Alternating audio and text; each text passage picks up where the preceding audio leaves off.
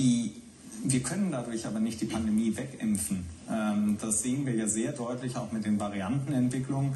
Äh, wir werden auch im nächsten Jahr wieder eine Welle haben.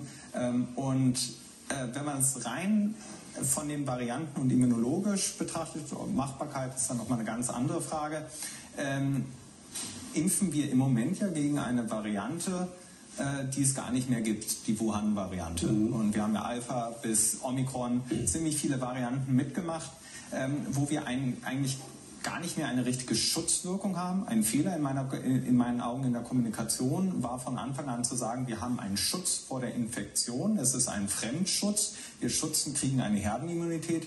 Das haben wir ja nicht.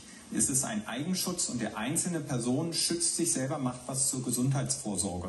Und schützt ähm, damit das System vor Überlastung.